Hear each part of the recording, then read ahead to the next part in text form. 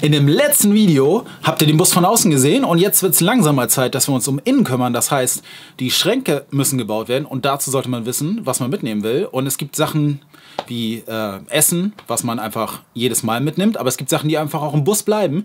Und die habe ich mal besorgt. Und zwar, ähm, ich weiß nicht, ob ihr die Seite Temo kennt. Ich habe da einfach mal ein paar Sachen bestellt, um zu schauen, wie ist die Qualität da und ähm, was ist da gekommen. Und das will ich euch heute in diesem Video zeigen. Wenn euch das interessiert, dann jetzt einfach dranbleiben.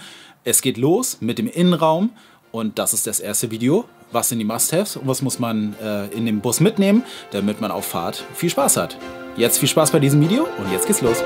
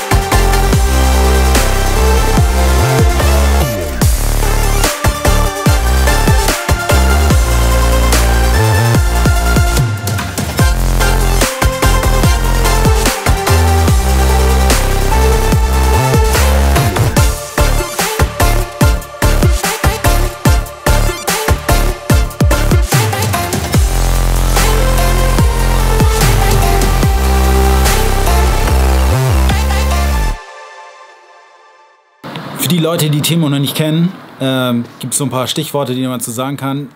Günstige äh, Preise, Qualität ist gut und ähm, ihr geht eigentlich kein Risiko ein, weil ihr bis zu 90 Tage alles wieder zurückschicken könnt und das kostenfrei.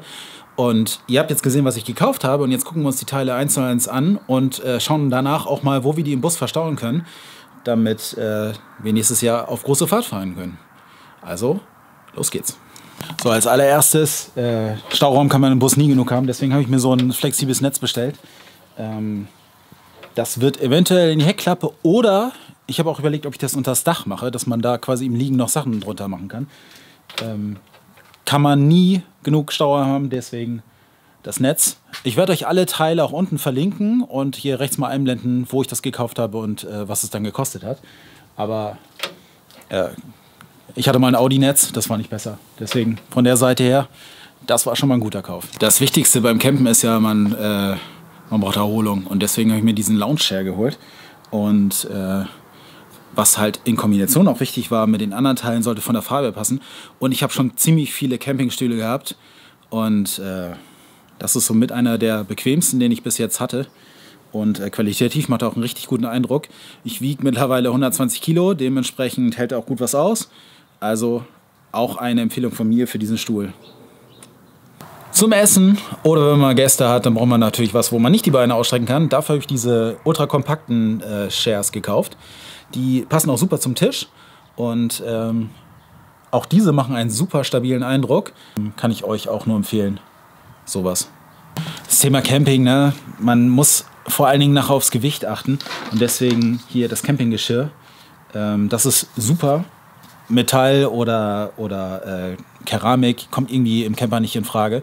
Ich habe das jetzt vor allen Dingen schon gekauft, weil ich den Platz nachher für suchen muss und ich am Überlegen bin, wie ich das am besten in der Küche nachher verstaue und wie viel Platz ich dafür vorhalten muss. Deswegen auch hier. Und der Vorteil ist, geht nicht kaputt. Ne? Das ist halt wirklich gut. Ähm, auch hier nicht schlecht.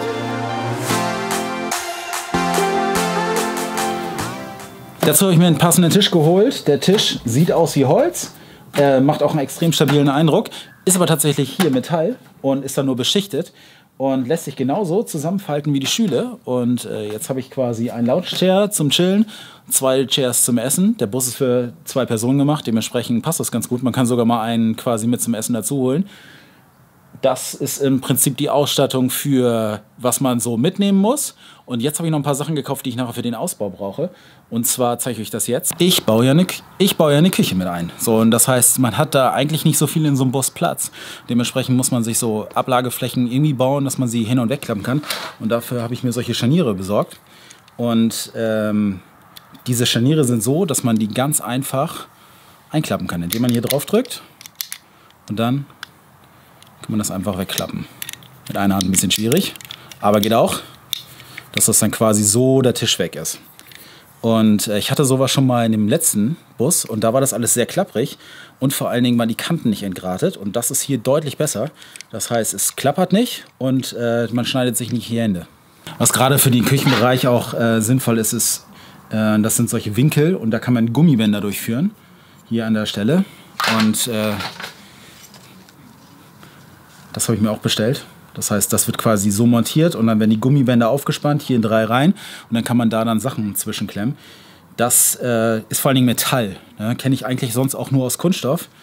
Ist äh, auch richtig gut. Ein besonderes Highlight habe ich noch und zwar habe ich eine Hängematte bestellt und äh, die soll nachher auf den Dachgepäckträger. Das heißt, man kann dann nachher auf dem Bus sitzen oder liegen und kann sich die Umgebung anschauen. Das wird besonders gut. Äh, Hängematte wirkt auch super hochwertig.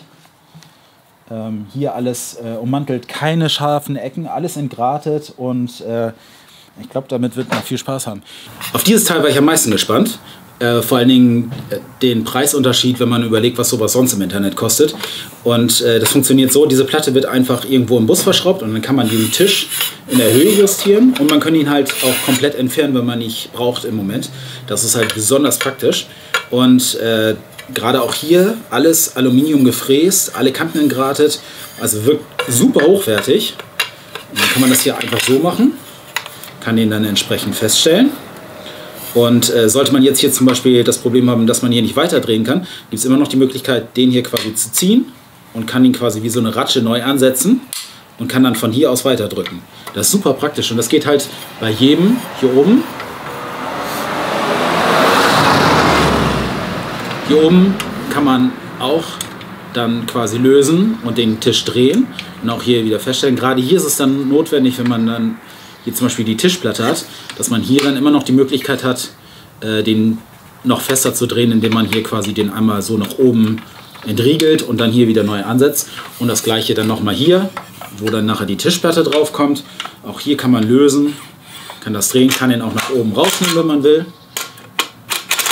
Und halt festsetzen. Und sollte man hier jetzt zum Beispiel nicht weiterkommen, kann man einfach den lösen kann dann hier weiter drücken.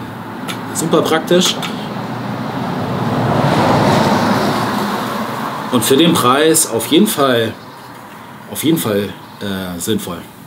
Das wird auch Einzug im Bus halten, weil gerade Ablagefläche, wie gesagt, muss variabel sein, braucht man im Bus aber auf jeden Fall. Und äh, jetzt machen wir das einmal alles zusammen und dann verladen wir das mal hinten im Bus und gucken, wo überall Platz ist.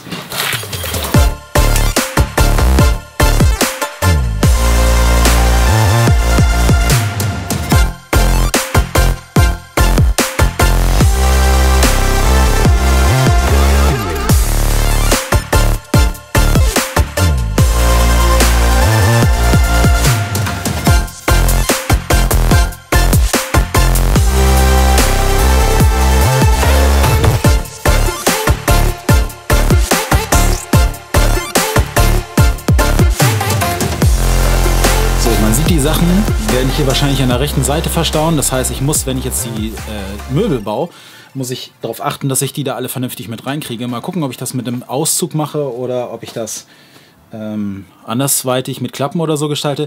Aber was halt wichtig war, ist, man braucht die Teile halt vorher. Man muss sich überlegen, was will man wo mitnehmen. Und es gibt halt ein paar Sachen, die braucht man. Tisch braucht man, Stühle braucht man. Das ist gut, dass ich das jetzt vorweg bestellt habe. Ähm, sonst hätte ich nicht gewusst, wohin damit. Also, der Bus füllt sich und äh, so langsam nimmt das ganze Projekt wirklich Fahrt auf. Das ist äh, auch gut so, weil äh, nächstes Jahr wollen wir damit rumfahren. Wenn ihr jetzt das eine oder andere Produkt haben wollt, dann verlinke ich euch alle Sachen nochmal unten in der Videobeschreibung. Einfach die App runterladen von Temu, die Teile eingeben und äh, hier habe ich auch noch mal einen Code für euch, den könnt ihr äh, quasi als Gutscheinpaket mit eingeben und äh, dann viel Spaß. Ich war sehr skeptisch, und das ist das erste Mal, dass ich bei Temo bestellt habe. Das ist nicht das letzte Mal, dass ich bei Temo bestellt habe. Mich hat tatsächlich die Qualität überzeugt und der Preis ist einfach unschlagbar. Ne? Die Teile kamen innerhalb von einer Woche. Das heißt, ähm, in zwar in mehreren Paketen, aber alles heile angekommen. Gar kein Stress, gar kein Problem. Und wie gesagt, wenn es mir nicht gefallen hätte, hätte ich es einfach zurückgeschickt. Das war's von mir an dieser Stelle für dieses Video. Ich hoffe, hat euch das Video gefallen. Ich habe euch vielleicht den einen oder anderen Tipp geben können für das eine oder andere äh, Teil, was ihr vielleicht bei euch auch verbauen wollt. Würde mich freuen, wenn ihr einen Kommentar da lasst. Und ansonsten sehen wir uns im nächsten Video.